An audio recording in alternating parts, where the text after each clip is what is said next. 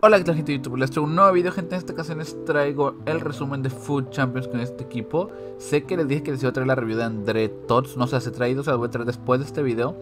Eh, tengo que decirles también que esta semana fue bastante rara. Como duró 3 días Food Champions y no 4, lamentablemente los domingos que no puedo jugar casi, entonces jugué los partidos muy apretados.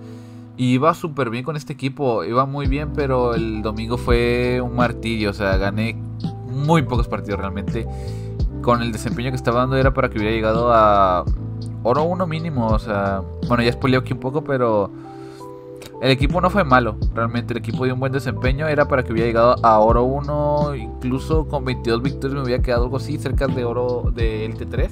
Porque está jugando bastante bien. Empecé el día el día viernes 7-3, nada mal, pero en cambio el día sábado, que suele irme mal, lo hice muy, muy bien. Solamente perdí dos partidos el día sábado y me ponía 15-0. O sea, es, algo brutal, ¿no? O sea, 15-0 no está mal. 15-0 no, perdón. 15-5, nada mal. O sea, estaba haciéndolo muy bien el día sábado. Y pues este era el equipo, ¿no? Pasver en portería, que es una basura, la verdad, no tapa nada, no, no me gustó nada, la verdad. Tus porteros obviamente siempre de suerte, puede que alguien le rinda bien este Pasver, a mí no me gustó nada. Zambrota ya he hablado mucho de él. Philip Max, al final lo califico con un 8.5. Es buen lateral sin ser destacado. Le falta algo de tiro cuando llegaba. Blind, le puede faltar algo de ritmo. Tampoco es tan malo. Le pondría un 8. Tagliafico si es nuevo. Si es 9 porque es muy bueno. Lo sé central y atacando también es muy bueno. Es una muy buena carta este Tagliafico 9. Fer ya le hice review. Neres ya le hice review. Vamos a hablar solamente de los TOTS. Cube Miners eh, es buena carta. Tampoco me pareció hiper brutal. Le pongo un 8.5 está normalito. Bergis, este es buena carta. Eh, me parece un 8. Un 8 la verdad es bueno para lo que cuesta la carta. Eh, calidad-precio sería un 9 tal vez. Tira muy bien, eso es lo que más me encanta de la carta. No es nada lenta, o sea, a diferencia de lo que se puede pensar por como es su carta oro, esta es tiene un ritmo aceptable. Entonces te rinde bien banda derecha, incluso MCO lo podría ver.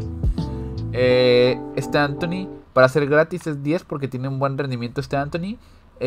pero pues así si lo calificamos objetivamente es un 9. Como revulsivo es un 9 porque es muy desequilibrante yo creo. Como titular le pondría 8-5. Porque no sé, de revulsivo me parece que es una carta que a mucha gente le puede funcionar brutal. Tira bien, hace muchas cosas bien. Es una muy buena carta. Malen, este sí me decepcionó bastante este Malen. Eh, no porque tenga necesariamente malos números. Eh, no sé, no me terminó de convencer la carta, me falló bastante. Eh, más de lo que esperaba, mm, le pondría un 9. Sí, sí, es uno posiblemente de los más altos del equipo, junto con Tagliafico. Pero deja que desear, o sea, yo esperaba más de la carta. Incluso un 8.75, algo así. Eh, el 9 lo veo muy, muy apretado. O sea, fácilmente podría ser un 8.5 o 8 incluso. Pero vamos a dejar el 9 porque hay gente que yo sé que le va a rendir un poco mejor. Una vez dicho esto, vamos a comenzar con el resumen de esta semana. Comenzamos con este partido. Obviamente todos tienen rivales ya equipos brutales. Vean este equipazo. Este partido para Plata 1.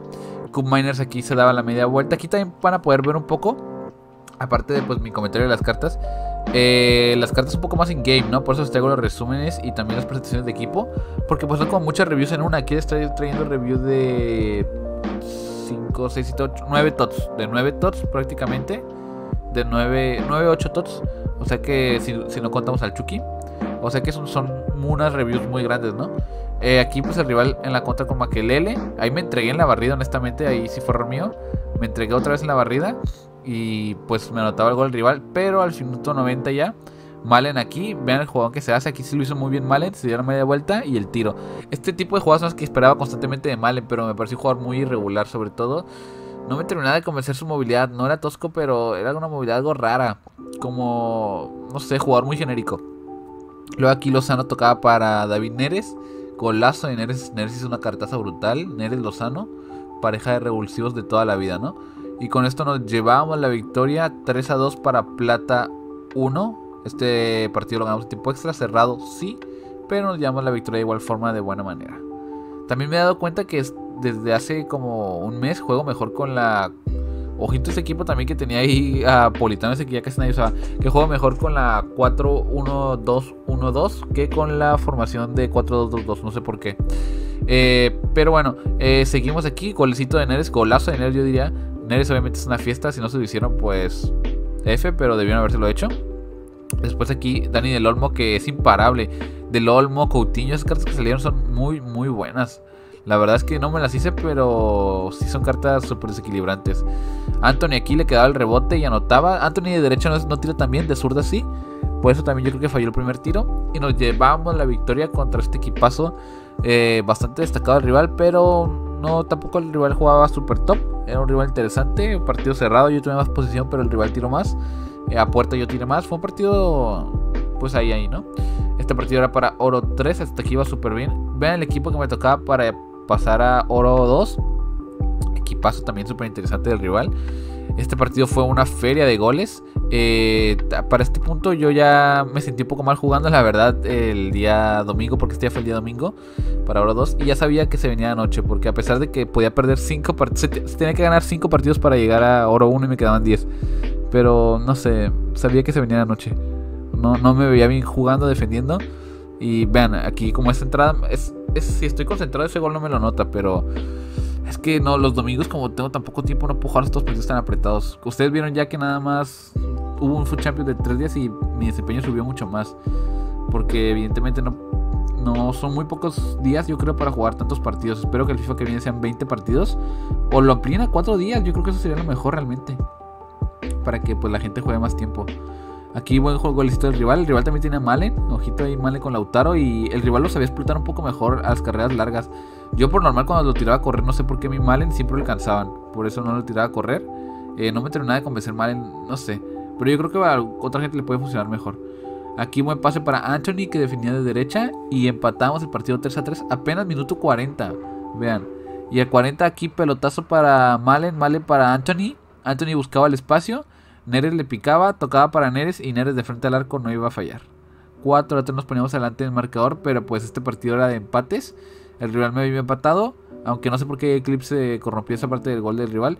Pero ya al 78 anotamos el 4 a 5 para llevarnos la victoria momentánea de este partido. Porque al 90, vean este pase filtrado para Lautaro, que no lo pude alcanzar con Renato y cuando lo alcancé me pasé. Ahí estuvo mal defendido también de mi parte. Evidentemente yo, yo lo hice bastante, bastante mal ahí. Pero pues en el tiempo extra ya en el 108 el rival también cometió un error de dejar al balón a Neres y Neres no iba a perdonar. 5 a 6. Ya como era el partido para los dos dije me voy a concentrar un poco más. Traté de concentrarme lo más que pude y ya no puedo anotarme gol al rival. Con esto nos llevamos la victoria y pasamos a Oro 2 donde nos íbamos a quedar esta semana. Por suerte jugué también Rivals, así que creo que esta semana las recompensas espero a ellas sobre de Ultimate, si es que no suben muchos puntos para Rivals. Así que bueno gente, hasta aquí está el video de hoy, dejen su like, comenten y suscríbanse para si no más videos, no olviden en Twitter que está en la descripción y en Twitch que también está en la descripción. Y hasta la próxima, también les dejo mi Instagram en la descripción.